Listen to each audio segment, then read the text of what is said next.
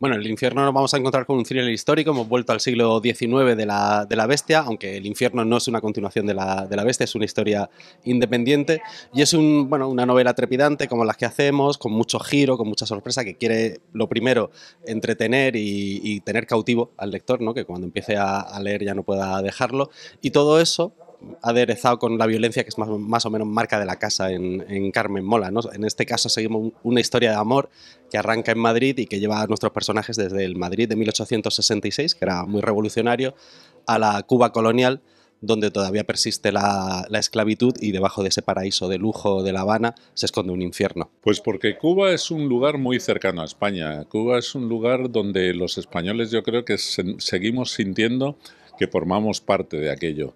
Eh, y, después porque cuando empezamos a estudiar la época buscábamos acontecimientos, buscábamos eh, crisis eh, que nos sirvieran para, para, la novela y nos encontramos con la esclavitud, con que España había prohibido la esclavitud en, en, la península, pero seguía teniéndola en las colonias.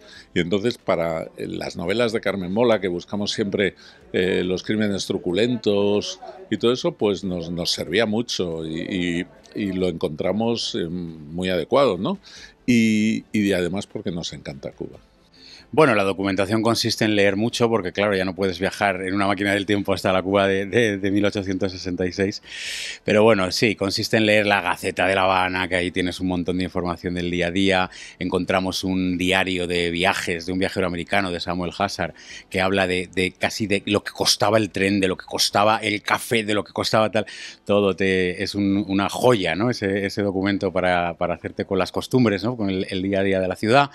Y, y bueno, la, el mundo de la esclavitud, eh, el libro Cimarrón eh, nos ha servido porque te habla, es, es, un esclavo que cuenta en primera persona, un, cimarrón que es un esclavo fugado que se refugia en el monte, en los palenques, cuenta en primera mano todo su cautiverio, cómo era el, ingenio, el batey, el, las jornadas extenuantes de trabajo. Bueno, todo esto vas leyendo, vas leyendo y a eso le tienes que añadir siempre como escritor un poquito de imaginación, de sensibilidad y hacer el, el retrato, el retrato más o menos verosímil de cómo era esa ciudad en esa época.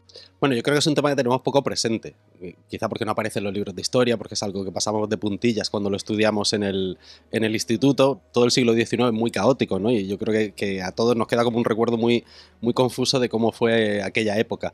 Y entonces es verdad que, aunque aparece retratado, o sea, aparece contado en otras novelas, no somos los primeros que, que hablan de la esclavitud en, en Cuba, pero es algo que tenemos muy poco presente, quizá porque no ha aparecido en el cine, tenemos más presente la esclavitud americana, que es extraño, ¿no? Es como que podemos imaginarnos mejor cómo era la vida en un campo de algodón del sur de, Estados Unidos que la, Cuba, que la Cuba colonial, cuando en realidad España terminó con la esclavitud después de Estados, Unidos. Es el segundo país occidental, el penúltimo país occidental que abole la, la, esclavitud, ¿no?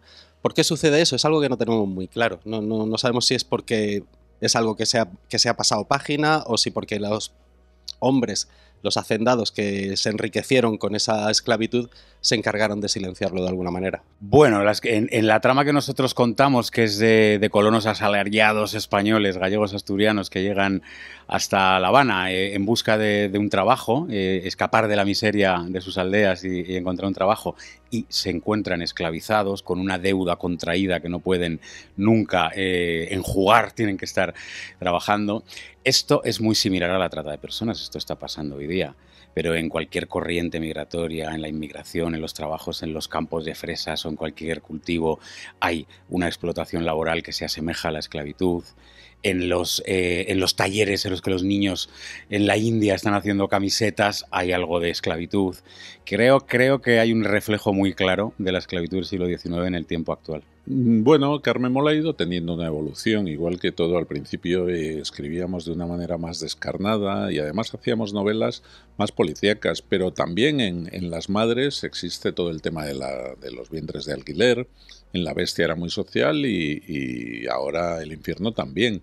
Entonces yo creo que nos sentimos cómodos en, en esto de hacer novelas muy entretenidas, pero a la vez que eh, ponen el foco en algún problema social que creemos eh, que hay que reflexionar sobre él, pero que no queremos reflexionar nosotros, queremos simplemente que el público lo lea y piense lo que crea sobre, sobre el asunto. Bueno, para nosotros el equilibrio de la violencia es que la violencia que aparezca sea pertinente, es decir, que eh, no sea simplemente violencia por, violencia. No es, yo creo que en nuestras novelas no hay gore, lo que hay es una descripción de la violencia porque es necesario contar qué sucede para entender a determinados personajes o entender determinadas situaciones. Ese es nuestro límite, digamos, es, lo único que nos ponemos. No somos paternalistas con el lector, creo que eh, por desgracia estamos todos muy acostumbrados a la, violencia, no es algo que vaya a echar a la gente de, los libros lo que sí nos parece importante es eso, no eludirlo, no hacer como antes en las películas que cuando hay una escena de sexo la cámara se iba hacia la chimenea, ¿no? Pues si nosotros estamos hablando de violencia y del mal, es inevitable retratarlo. Bueno, puede pasar, pero eso pasa en todo, ¿no? Hay veces que también te puede pasar que te eh, excedas con el lirismo o con el lenguaje barroco. Siempre se reescribe y si algo te parece de mal gusto o excesivo, recargado, pues eh, por supuesto que se elimina, ¿no? En eso consiste el trabajo del escritor, en extirparlo que sobra. Bueno, eh, era nuestro empeño desde el principio. y cuando empezamos la novela pensamos, vamos a escribir una historia de amor. Y vamos a escribir una historia de amor como un folletín decimonónico. Entonces eh, era lo que pretendíamos, era lo que queríamos. Evidentemente lo habíamos hecho menos, pero lo habíamos hecho menos en novela. Después de la historia de amor siempre, cuando escribes, por ejemplo, televisión, es, es fundamental que haya una historia de amor. Pero lo habíamos hecho menos y siempre corres el riesgo de ser un poco más cursi. Entonces eh, teníamos que meterle esos elementos Carmen Mola que definen completamente y evitar que pareciera una historia de amor que escrita, con todos mis respetos, por Corintellado. O sea, tenía que ser una historia de amor escrita por Carmen Mola. Bueno, pues ahí estaba la dificultad, pero yo creo que nos ha salido bien. Bueno, yo creo que eso es, somos incapaces de, decirlo, porque uno no diseña un éxito, no, no, coge una marmita y va echando aquí cositas y, de ahí te va a salir un éxito seguro. No lo sé. O sea, nosotros sí es verdad que hay una cosa que siempre pusimos encima de la mesa y es que queremos hacer por encima de todo novela de entretenimiento. Luego la novela puede tener capas y tiene tema, tiene tema social, hay profundidad psicológica en los, en los personajes, pero sobre todo queríamos hacer un entretenimiento, invitar a la gente a, la lectura como te pueden estar invitando a, ver una serie o a ver un partido de fútbol, no una obligación, no esta cosa de voy a salir súper inteligente después de, de leer la novela, sino que voy a pasar un muy buen rato. Y creo que eso lo conseguimos y eso es lo que ha hecho que entre tanto lector. Pues no, todos hacemos de todo.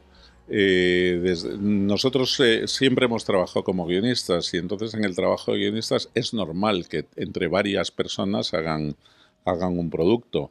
Y así es como lo hacemos nosotros, pues eh, nos reunimos, lo discutimos todo y después nos repartimos las partes.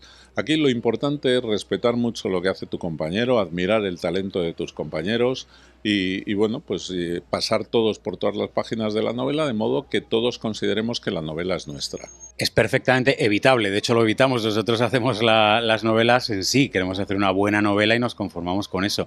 Ten en cuenta que precisamente por ser guionistas, si queremos hacer una serie de televisión, la podemos hacer directamente. Tenemos la experiencia, el oficio, los contactos y, bueno, no tendríamos eh, demasiados problemas más allá de los creativos para sacar adelante una serie. No, no, la novela la queremos hacer como novela y si luego da el salto, pues estupendo porque tiene una segunda vida, porque te hace ilusión verla en imágenes, pero, pero ya está, no buscamos eso. Bueno, nos, la ha cambiado el premio Planeta y, que, saber quién era Carmen Mola. Fue una combinación de, acontecimientos ahí en, el mismo día. Entonces, por un lado, el premio Planeta, claro, es un, es un honor, es una alegría y de repente nos abrió a mucha gente que no nos leía porque bueno, la serie de la novia gitana es un policial, es el thriller y eso tiene como un público y a través del planeta llegas a, más gente. Y luego por otro lado, nuestra vida antes, antes del planeta, esto es un poco antes de Cristo, eh, éramos, nadie nos conocía, ¿no? Y entonces pues tú terminabas tu novela y lo único que hacías era ponerte a escribir la siguiente, no tienes que hacer promoción, estas entrevistas. Y ahora todo esto nos va devorando de alguna manera. Carmen Mola ha ido convirtiéndose en un monstruo que va ocupando tiempo dentro de, nuestra vida y tenemos que pelear para sacar tiempo para seguir escribiendo. ¿no? Esos son como los cambios fundamentales. Lo bueno es que no nos hemos hecho famosos. O sea, como famosa es Carmen Mola y a nosotros no, no, no nos reconocen por la calle, tenemos, vamos a comprar el pan sin problema. Bueno, nosotros eh, siempre hemos considerado que eh, lo nuestro es un experimento de escritura creativa, perdón, de escritura corporativa, ¿no? Entre varias personas y, que lo del seudónimo pues era simplemente un paso más para ocultar esa identidad, pero, pero independientemente de que fuera masculina o femenina o que le hubiéramos puesto nombre de robot. Eh, nos daba exactamente igual. Escogimos Carmen Mola por un chiste O sea, dijimos Pedro no, Elena no, Carmen a Carmen mola, nos gustó y ahí se quedó. Y entonces tampoco le dimos nunca importancia. Después sí que hubo durante unos 15 días, en, pero en redes sociales hubo, pero en la vida real a nosotros nadie nos ha dicho nada en contra.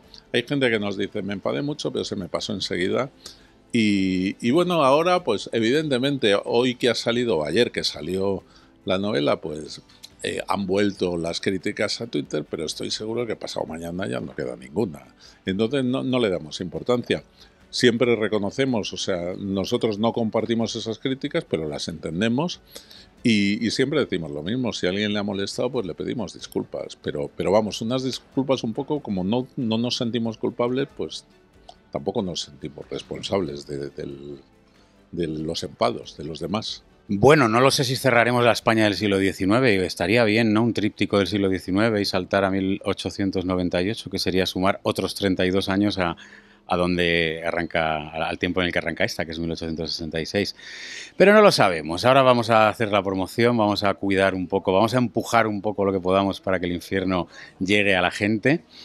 Y, bueno, eh, claro que estamos pensando en historias, tenemos la, nuestras cabezas no descansan nunca pero, pero ya veremos, es pronto para saberlo todavía. Bueno, es que, es que es un año, el siglo XIX que pasa un poco desapercibido, como que en los, el, en, en, los colegios se salta casi de Napoleón a, a la guerra civil, y, y, una de las pequeñas paradas que se hacen en el siglo XIX es 1898, es un, una fecha bastante señalada.